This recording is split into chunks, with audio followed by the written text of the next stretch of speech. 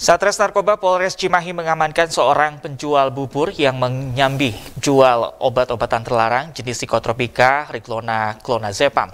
Tukang bubur berinisial AA ditangkap ketika tengah mangkal di Jalan Taman Kopo Indah, Desa Cipanya, Kecamatan Marga Asih, Kabupaten Bandung. Selama kurun waktu satu bulan, Satres Narkoba Polres Cimahi berhasil mengungkap kasus peredaran narkoba dengan mengamankan belasan pelaku beserta barang bukti di wilayah hukum Polres Cimahi.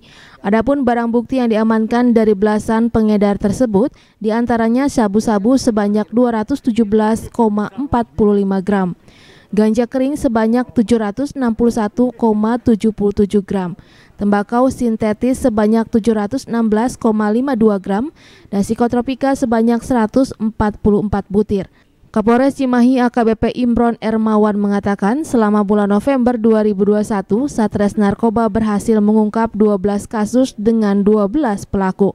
Dari 12 kasus terdapat satu kasus yang cukup menarik lantaran pihaknya membekuk seorang pedagang bubur yang juga mengedarkan obat-obatan terlarang.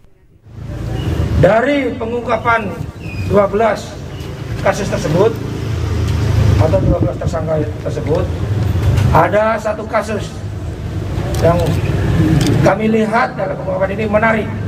Apa itu? Yaitu ada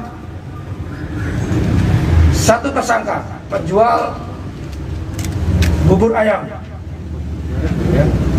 Bubur ayam selain pekerjaannya sehari-hari menjual bubur ayam, namun yang bersangkutan kurang mensyukuri rezeki, kurang mensyukuri nikmat Allah yang diberikan kepadanya sambil jualan bubur yang bersangkutan jualan obat-obatan terlarang. Akibat perbuatannya, belasan tersangka dikenakan Undang-Undang Nomor 35 Tahun 2009 tentang narkotika, Undang-Undang Nomor 5 Tahun 1997 tentang psikotropika, dan Undang-Undang Nomor 36 Tahun 2009 tentang kesehatan.